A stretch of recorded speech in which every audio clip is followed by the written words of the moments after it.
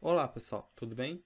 Meu nome é Iaco Ferreira e hoje nós vamos aprender a realizar a instalação do Zabbix 5 e o Grafana com Docker Composer. Antes de iniciar o vídeo, eu gostaria de convidar a todos para se inscrever no canal.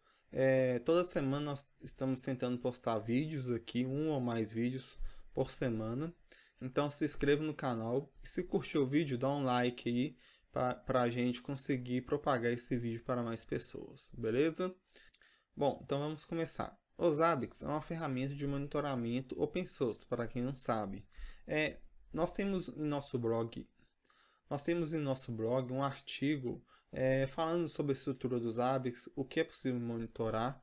Então, se você não sabe ainda o que é o Zabbix, como que ele funciona, nós vamos deixar o link aqui na descrição desse artigo que está em nosso blog você pode acessar lá e conferir é, como que funciona e aprender um pouco mais sobre os hábitos. O Docker também é uma ferramenta open source que você consegue empacotar aplicações dentro de containers e ele tem um utilitário que é o Docker Composer, que você consegue de maneira automatizada subir ou provisionar vários containers ao mesmo tempo. Mas falando um pouco mais para o lado dos Zabbix, quando você está utilizando a instalação pacote, por pacote, é um pouco mais complicado você criar um cluster, por exemplo, dos Zabbix. Então, com o Docker, é, você consegue criar um cluster, por exemplo, utilizando o Docker Swarms ou Kubernetes, enfim. Beleza? Então, qual é o cenário que nós vamos criar aqui neste vídeo? Nós vamos subir aqui um, um container com MySQL, porque os Zabbix precisam de um servidor de banco de dados, pode ser o MySQL ou Postgres. Mas no, no exemplo aqui nós vamos utilizar o MySQL. Um container para o Zabbix Server. Se você não sabe, o Zabbix Server é o servidor que vai receber as informações dos agentes. E também um Zabbix Front-End. O front-end nós conseguimos realizar todas as configurações dos Zabbix e visualizar os alertas, os itens coletados também, as métricas. Beleza? E também, por último, nós vamos subir aqui um Grafana, que você consegue criar alguns dashboards personalizados para otimizar o seu monitoramento, ok? Bom, nós vamos utilizar o Docker Compose.imo que nós criamos aqui. É, nós tentamos simplificar o máximo possível deste arquivo para ficar mais fácil o entendimento. Então, se você tiver um conhecimento maior em Docker ou Docker Composer, você pode incrementar com mais variáveis de ambiente, adequando de acordo com o seu ambiente, beleza? Então, vamos lá. Eu perdi conexão com minha máquina aqui. Eu vou restartar. Só um instante. Eu vou acessar a pasta temporária. Deixa não tem nada dentro dela. Então o primeiro passo aqui é baixar o repositório onde está o nosso arquivo do Docker Composer. Então vou dar um git clone. Você tem duas opções, você pode executar o git clone ou então acessar via web o, o GitHub nosso e baixar o arquivo do Docker YAML, beleza? Então aqui git clone e eu vou passar o link onde, do nosso repositório e vou pressionar Enter.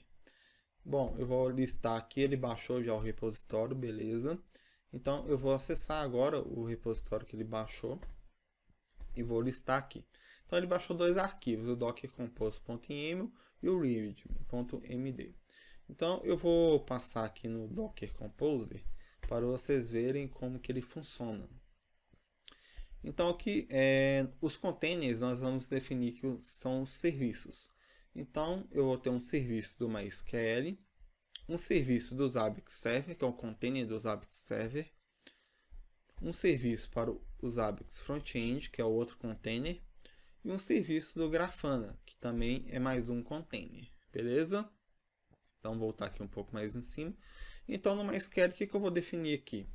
A imagem que eu vou utilizar estou utilizando a imagem 5.7. A porta que ele, o MySQL vai utilizar, esse container vai utilizar, estou deixando a porta padrão.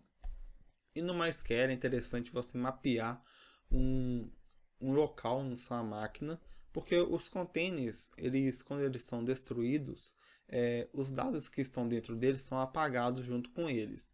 Então, quando você define um volume, é, os dados vão ser salvos na máquina local e quando o container for destruído, você não vai perder essas informações. Passamos aqui algumas variáveis de ambiente também, como usuário, é, que o Zabbix vai usar e a senha. Em seguida, nós temos aqui o serviço do, do Zabbix Server. Então, basicamente, nós colocamos as portas que ele vai utilizar. É só uma observação aqui, a porta que o Zabbix Server usa é 10.051 e o agente 10.050. Se você preferir, pode colocar somente a porta é, 10.051 neste documento, também vai funcionar. É, volume, igual eu falei anteriormente, da mesma maneira que o MySQL também vai apagar os arquivos dele, nós também podemos definir alguns volumes para os AVIX. Eu defini um volume aqui que é alguns scripts de alerta que a gente coloca normalmente nos AVIX. Por exemplo, se você quer alertar via Telegram, é, Slack, é, o Teams da Microsoft, então a gente utiliza esses scripts para estar tá enviando os alertas. Então você pode mapear, ou se você tem outro volume que você não pode perder a informação, você mapeia aqui também. Aqui uma observação, ele vai criar uma pasta Zabbix e lá dentro uma outra pasta com os scripts. As variáveis que o Zabbix a utilizar, basicamente nós passamos só a conexão com o banco de dados. Então o nome do host, banco, usuário e a senha nós temos aqui, passei aqui, não falei, um link com o MySQL, que é um container do MySQL que o Zabbix precisa. Eu coloquei uma dependência aqui também. Esse container para ele subir, ele precisa que o MySQL esteja funcionando. Em seguida, nós temos o front-end, não vai fugir muito do, do que a gente criou aqui no Zabbix Server. Então, aqui o nome do container é, nós temos aqui também no Zabbix Server o nome do container, da imagem, aliás.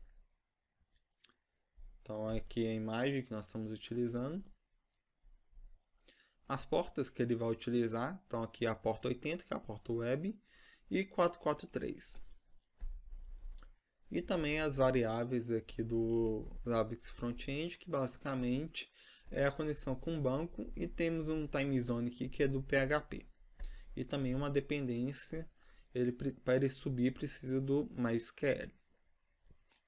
Em seguida nós temos aqui o Grafana, é o Grafana um pouco mais simples, é, aqui é a imagem que ele vai utilizar, a porta padrão do, é o 3, a 3000 do Grafana, e a única variável de ambiente que nós passamos aqui foi do plugin do Zabbix. Então, quando esse container for subir, ele já vai subir com o plugin do Zabbix Zabbix instalado, ok?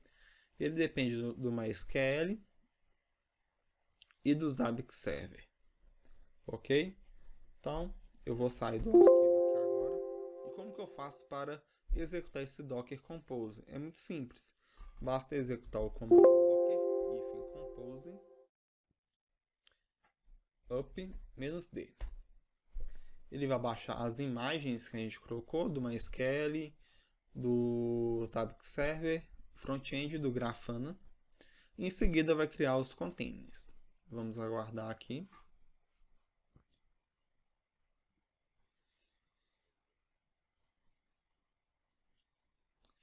Então você pode ver que é uma solução bastante interessante e rápida de, de, de, instalar. Acho que é uma grande vantagem do Docker, que você não precisa ficar perdendo tempo de baixando pacote, tudo ele já baixa as imagens é, feitas e você consegue otimizar o tempo gasto na instalação de serviços. Ok, que ele já instalou os Zabbix é, com, com Docker, então vamos acessar aqui a, a página web para verificar se o, o Zabbix está funcionando.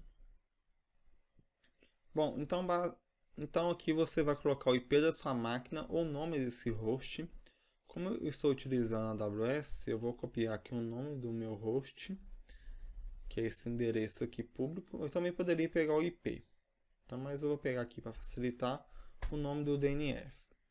Vou pressionar Enter. Vou logar aqui admin com A maiúsculo, a senha Zabbix. E aqui está o nosso Zabbix 5 instalado em Docker. É, podemos ver que ele está funcionando. Caso você queira acessar o, o Grafana, basta vir o mesmo endereço, colocar a porta 3000, que ele vai abrir o Grafana. Lembrando aqui que o Grafana é, demora um pouquinho a mais para subir com os Zabbix. Então, caso de erro, é só esperar um pouco que o container vai subir. A senha é de mim e o usuário é de mim também, tudo minúsculo. Aqui ele só pediu para trocar a senha. Vamos só conferir se ele instalou o plugin aqui do, do Zabbix.